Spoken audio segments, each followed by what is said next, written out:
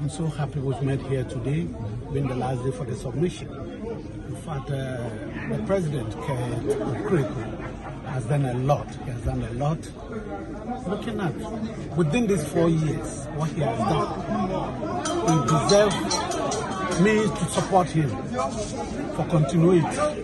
I mean, there are a lot of things he has done that I cannot mention them. So, I mean, uh, most especially, I personally, I wouldn't say of Accra Suffolk, which I believe Accra Suffolk has been channeling those, I mean, championing that uh, issue, that the autonomous league issue, which I know and I believe with Kurt I believe is going to lead us for the premier club to go into autonomous by next year.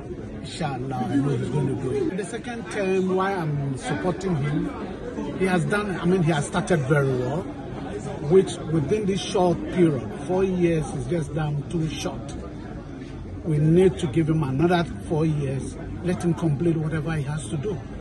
That's why I'm supporting him. My name is Alhaji Akambi, though my real name is Alhaji Amadu Moro Brahima, a board member of Accra Hearts.